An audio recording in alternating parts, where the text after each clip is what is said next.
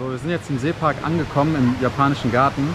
Und es ist ziemlich viel los leider, aber wir schauen trotzdem mal, ob wir ein paar geile Spots finden gleich. Ja, ich denke, die ein oder anderen Spots werden wir auf jeden Fall finden. Wir müssen ein bisschen schauen, vielleicht ein bisschen warten, aber ich denke, hier ist einiges, was man machen kann.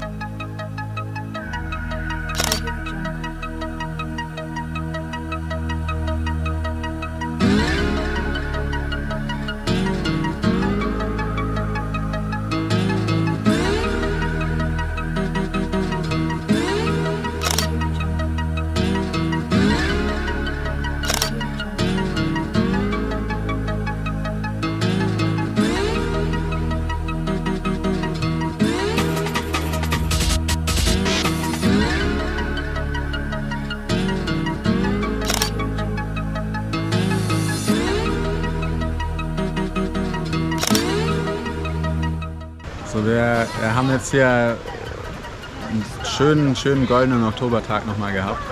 Ja, auf jeden Fall. Richtig, richtig geile Fotos. Was glaubst du, was das geilste Foto geworden? Also auf dem Wasserfall, im Wasserfall, ist schon sehr geil mit dem Motiv, mitten im ähm, Wasserfall, aber auch hier der Brücke. Auch